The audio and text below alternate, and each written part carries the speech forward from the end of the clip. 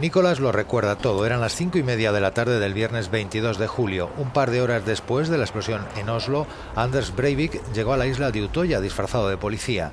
Los jóvenes que participaban en el campamento de verano creyeron que iba a informarles. Les dijo que se acercaran e inmediatamente después comenzó a disparar. Nicolás estaba allí.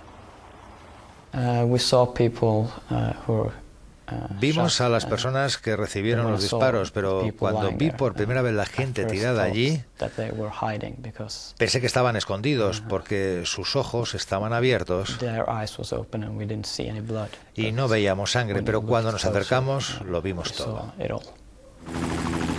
Durante una hora y media el tirador recorrió la isla a sus anchas. Se movía lentamente, no tuvo necesidad de correr, pero la policía ha tardado varios días en localizar todos los cadáveres. Uh, Aparentaba estar muy tranquilo, caminaba por allí.